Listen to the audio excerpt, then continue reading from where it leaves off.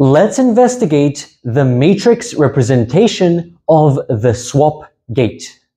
The swap gate can be expressed as a linear combination of Pauli matrix tensor products. We're going to have the terms denoted by II, ZZ, XX, and YY. This is shorthand notation for the tensor product of Pauli matrices. So I, Z, X, and Y, they are the standard Pauli matrices and identity operator for a single qubit Hilbert space. And by writing two of them next to each other, we're not saying that we're going to multiply them. We are implying that we're going to take the tensor product. So you can imagine an, an implied tensor product symbol between each of these letters.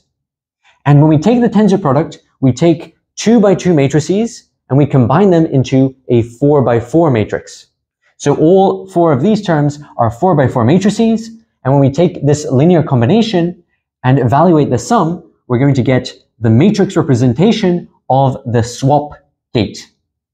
The matrix representations in this video will be done in the two qubit computational basis. These two combinations over here are going to give diagonal matrices. And these are going to give anti-diagonal matrices. So they are 4 by 4 matrices, but the only non-zero elements of the matrices will lie on the diagonal for these two and on the anti-diagonal for these two. Let's uh, write this in an alternative notation. We can write these as diagonal matrices. So capital D for diagonal. And what we'll see is that we're going to have an identity and another identity appearing along the diagonal. And over here, we're going to see a diagonal matrix, and we're going to have Z and then minus Z. So we're just inserting the identity inside another identity, and we're inserting this Pauli Z inside another Pauli Z. And we're using the coefficients of the matrix on the left to multiply each of uh, this entire matrix over here. And that's going to produce each of the four quadrants in a 4 by 4 matrix. So you can think of a 4 by 4 matrix as being composed of four 2 by 2 quadrants. And each of those quadrants arise from multiplying one of the elements of this first matrix by the entire second matrix. So that's why we have II, and then we have Z minus Z. So the coefficients of these i's are just 1 and 1. And the coefficients of these z's are 1 and minus 1. So those are the entries of the identity and the Pauli Z respectively. Let's have a look at these guys over here. They're not diagonal, they are anti-diagonal. So we'll write a capital A for anti-diagonal. And over here, we're just going to have X and X along the anti-diagonal. But what about this case over here? Here we're going to have Pauli Y, tensor product with Pauli Y. So we're going to have some imaginary units appearing. So along this anti-diagonal, we're going to have i times Pauli y, and then we're going to have minus i times Pauli y. Now, the convention that I'm using is the anti-diagonal is starting from the bottom left and going to the top right. We could also use a different convention, but my convention is from left to right in this video. For both the diagonals and for the anti-diagonals, we're starting at the leftmost element and then we're moving towards the rightmost element in the matrix representation. So this is the same terms, just written in another type of notation. Now let's write these terms in a more explicit notation. So we're still going to have 1 half. What's going to happen to these first two terms? Well, this first term is going to be 1, 1, 1, 1 along the diagonal. And this term over here is going to be 1 minus 1 minus 1, 1. So we can identify Pauli Z here and minus Pauli Z, where the entries are swapped. The signs are swapped over here because we're taking the minus sign. What about these anti-diagonal terms? Well, we have an anti-diagonal term over here. So this x and x are just going to be ones along the anti-diagonal. So we're going to have 1, 1, and 1, and 1. So that's four ones over here.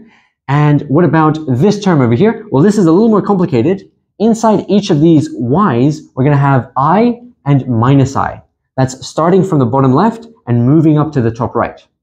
So i times i is going to give us minus 1, and then in the middle we're going to have 1, 1, and then minus 1 again. So on the edges, we have i times i and minus i times minus i. Those both give minus 1.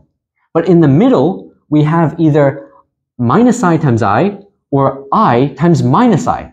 And those are opposite signs, so they're going to give 1.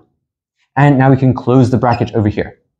So this is the diagonal portion of uh, this linear combination, and this is the anti-diagonal portion. And we can combine this into a slightly simpler form using the same notation. If we uh, incorporate this 1 half and distribute it inside, we're going to notice that these diagonal terms are going to turn into 1, 0, 0, 1. Because the middle two terms, they cancel. Here we have plus ones and minus ones. But the edge terms, this one and this one, they're going to add to these ones. And they're going to give 2, 0, 0, 2. But we can divide by this factor of a half, and that gives us 1, 0, 0, 1. What about the anti-diagonal terms? Well, the anti-diagonal terms are going to have the following form. It's the edges that are going to cancel, and the middle ones are going to remain. So we're going to have 0, 1, 1, 0. So it's the opposite of what we have over here. So can you see what is going on here? This one and this one are canceling. This one and this one are canceling because they have opposite sign. So these are minus ones, and these guys in the middle are both the same sign. They're all plus ones, so they're going to add to give twos, and we can cancel that two with a one half. So now let's actually write this out in the typical way uh, that we would express a matrix representation. So let's first have a look at the diagonal entries. So along the diagonal, we're going to have 1, then we're going to have 0, then 0, and then finally 1. And what about the anti-diagonal? I'll do the anti-diagonal in blue, a different color. So we're only going to get ones over here. We're going to have a 0 down here. Then we're going to have a 1 over here, a 1 over here, and then finally a 0 in the top right. So the convention for this notation is I'm starting at the left, and then I'm moving towards the right.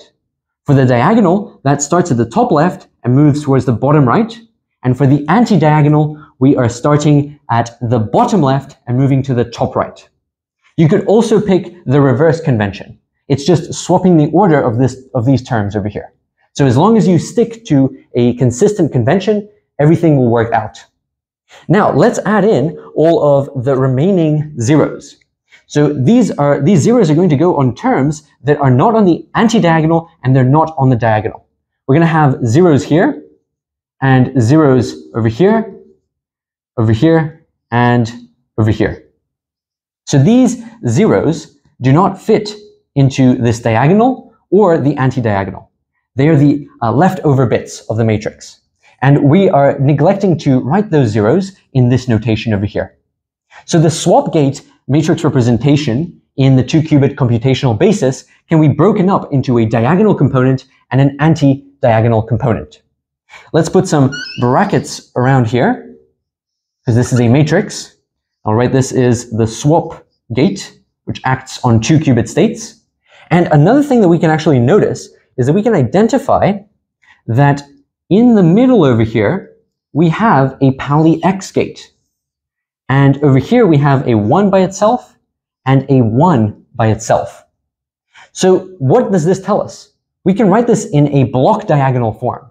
So instead of just uh, treating this as a diagonal matrix, we can treat it as a block diagonal form, like this notation over here. So we can write this as the block diagonal matrix with entries 1, x, 1. So it is a 4 by 4 matrix, but we just have three entries over here.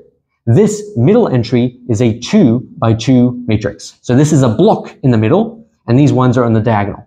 So you can think of this as a block diagonal matrix representation, or you can think of this as a diagonal plus an anti-diagonal matrix representation.